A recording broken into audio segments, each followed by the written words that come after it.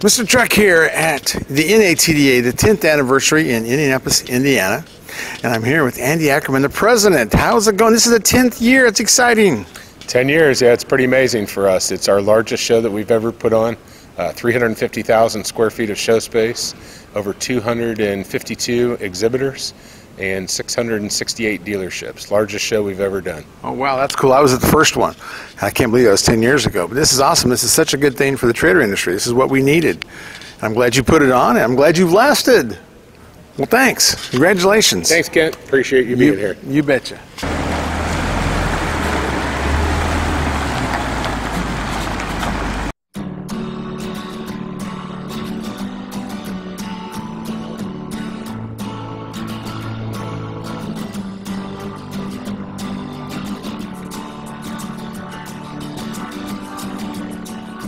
Mr. Truck here at the NATDA. This is the 10th anniversary, so it's really cool. We're showcasing the better products here at the show.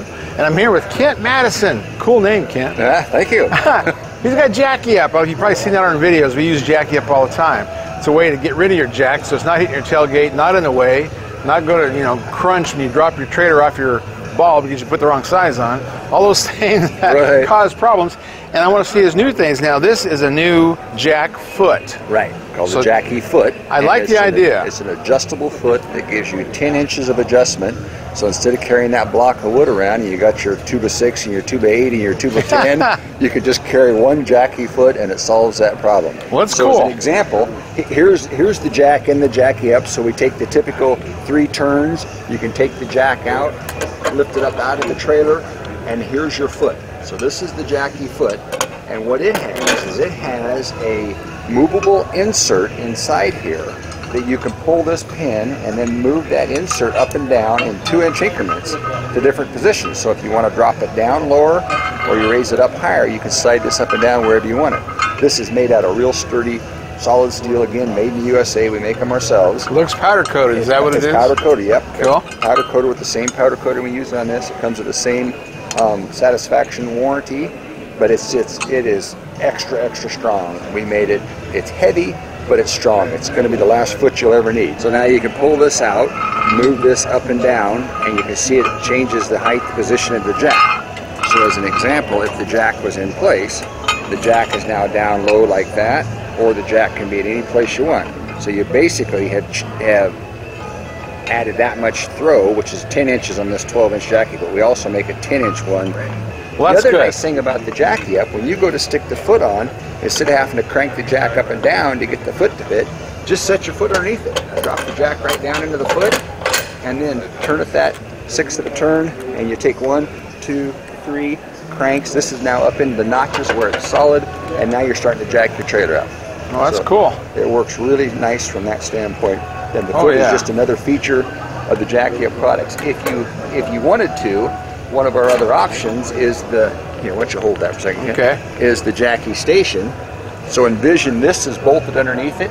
Now you take your foot and you put it up here, and you can store your foot on the trailer, also upside down, above the trailer frame, out of the way, and then your your jack itself stores in this side over here. Yeah, So now you've got yeah. the jack stored on the trailer and the foot on the trailer. Right. Yeah, So- we've done that before. That's Yes, cool. Your trailers have got these units also. Yeah, now that's what I want to see is every year you come out with some more new products to add to it. We want Well, that. We do have the the Jackie wall, which is pretty simple. Oh yeah, this I've is- got one of those. Okay, yeah. So now you've got this mounted inside your trailer, inside the wall of your trailer. You just un, you just hook to your trailer, set your foot on it, drop your jack down through the Jackie wall, back into your foot. And we recommend to set this so it's really not carrying the thing, it's just holding it so it doesn't move. Now this is sitting inside the trailer. Inside the trailer, Right. yeah, that's out what I of was the thinking. road salt, out of the dust, out of the theft issue. When you're ready to go again, open your trailer door, pick this off, and take this with you, and now you're ready to unhook the trailer again. So that was a, a newer product. Well, that's cool. Well, now, now you've got one more product I want to show. I can't. What we were talking about too with your with your Jack-E-up. Another thing it helps you with is the salt. Now in Colorado we have magnesium chloride, which eats everything. It eats your trailer, it eats your wiring, your plastic. Yeah. And you know the jacks, you got a lot of wire in there, an electric one. You Right. got all kinds of things. You don't want that to get eaten. So if you get rid of the jack, that would probably help that salt corrosion So thing. You Yeah. take that couple hundred dollar jack And if you could take it off the trailer every time you're going down the road, now Uh-huh. you don't have that road salt issue on your nice jack. Yeah. So take this and put it in the back of your pickup or put it in the trailer, put it someplace out of the winter's road salt and let your let this jack last a lot longer. Oh yeah, that's a good that deal. standpoint. And it's still the same even with the even with the less expensive, you know, Yeah, side winds and top winds. crank, why, yeah, why true. eat them up? Well, yeah, and John gets down inside there, and they're not all of them even have grease Right. but that's Right. that's a big deal. Magnesium chloride, I hate it. Wish they would. but Absolutely. It ruins everything. Absolutely. So no, that's a good point. Yeah. So this will stop that too. stop that problem. Again, it's kind of our, our motto has been the jack is the only part of the trailer you don't need when you need the trailer. So Yeah. have it in the way. Yeah. Take it off. Get it out of the way. Get rid of it. That's right. Cool. Okay. Okay. You got so many cool products to go with your Jack-E-up, and you can you name them all Jack-E-up something? Well, they're all the Jackie brand of something, yes. Okay. Now this is a leveling jack off of like an RV, toy hauler, or any of those things. I've got them, and they're a pain in the butt, especially in the back of my trailer. They hang way down low. Right. And you know we go off road quite a bit, and we're dragging them in the mud. We're dragging them. Yeah. And your system, so I can take the darn things off. Show me how that So works. what we've got is we really have taken our our Jack-E-up round base unit, which has the notches cut out of it here for the round base jacks, and you would bolt that up to your trailer. So this is all that stays on the trailer now. Okay. Then when you're ready to put your scissor jack on, you just bring your jack up into place this way. It fits into there.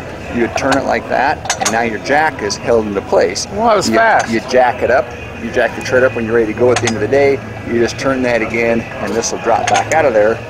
You drag that back out and throw it in the back of the trailer. So this is Uh, yeah. all that's left on the trailer as Well, driving down the road. That's good those trailers always have a big tail on them. Absolutely. And you And this ends up. I've seen more of these look like this. Yes, and they're yeah, the road and on than the, I the do like this. The RVs So- don't have real high quality jacks. So you Right. gotta be careful with Right. them. So I like but to get this rid of them. a real good. simple way to do it. And since the weight of the of the jack, once you go to stabilize, the weight of that jack is pushing up. It's pushing back on this original foot, so you still have the same amount of force pushing up. Right. That's good. That's a good idea. Yeah. That's that's Yeah. we're, we're gonna you'll be seeing us demonstrate that on the trailer. You send us a couple out there and we're gonna use them. Right. Well thanks, Kent. You got the coolest stuff. Thanks. You're here at the NATDA in your booth and hopefully the trailer folks appreciate what you've done. Well, we're getting a lot of good responses out of it. Well, that's great. Thanks. Thank you. Hey, here, Mr. Truck at the NATDA. I'm in Equalizer's booth. Equalizer systems, they're to make the big jacks. The jacks we use on my trailers, the jacks, you know, they're big in the horse industry, RV industry. And they've got a new product this year. It's the 10th anniversary of the NATDA. And I'm with Jason Kinney? Keeney. Keeney, okay, sir. I was close. So, what is this snake? Tell me what it does. This here is our stay charge. Biggest complaint we have are people's batteries dying. So what we've come up with is this four gauge wire in our nylon braided um, cover here. This hooks up to your truck battery. You run it down your truck, hook this in the back. This harness here hooks up to the battery on your trailer. When your battery's dead, you plug it in, instant power from your truck. And then this will also charge your battery much faster than the trickle charger you have on your seven way plug. Oh yeah, that's true. That that seven way is very slow. So this is instant power. I mean, that sounds cool because a lot of dump trailers, like anything's got electrical power Anything on that it. has electrical Yeah. power, I know with the dumps, they say you use it six to eight times and the battery's dead. This is going to help that problem. Well, that's cool. It looks like I could almost weld with that size of cable. That's pretty cool. Everything's heavy duty, comes with 100 amp breakers. Oh, the, the breaker's in the end, or where's the breaker? The breakers you attach to the oh, end here you and then- attach them. Okay. Yes. Oh, cool. Well, that's good. You got to be safe. Well, cool, Jason. This is good. I will, uh, thanks for showing it. No problem. Thank you. And we got tons of pickup truck questions, right? Right. Where do we go for the answers? We go to the Truck Nuts book. Because we're truck nuts. and we wrote the book, Truck Nuts. We're nuts about truck, the ultimate guide to buying a truck, or Yep. looking at a truck, or judging a truck. You know, whether it's diesel versus gas, new versus used, what your teenagers should learn about trucks, all that. You do all kinds of cool tests. Yeah, we do a lot of testing. We do the Ike Gauntlet, world's toughest towing test up the mountain and down the mountain. We do MPG testing on the highway, loaded with trailers. Yeah. We do off-road testing. A lot of that data is in this book as well, and it's a one-stop shop for truck information. That's true. We test trucks maximum capacity up to the biggest grades you can do on the interstate. Yep. So we really put them to the test. And you know, you can get all the facts you can't find anywhere else. We do MPG tests, which you can't find on any sticker anywhere. So you know, all that stuff that you can't find is in the book. And you can find the book at trucknutsbook.com. There are links to Amazon, Barnes & Noble, and all the other bookstores as well. So read about your truck nuts.